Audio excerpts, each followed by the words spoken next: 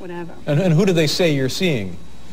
Just about everybody, Dave. Right, but do we have anybody more specifically than Oh well, they just said about everybody, Dave? They said Q-tip. They said Donald Trump.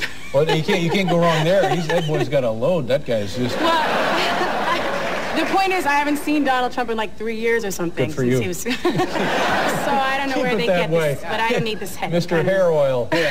hey, you doing, honey? Nice to see you. Yeah. Uh, I'll build you an apartment when I'm done building you a new hairpiece. See, just. Um, yeah, well, you have dinner with him sometime, huh? Uh, so everything else.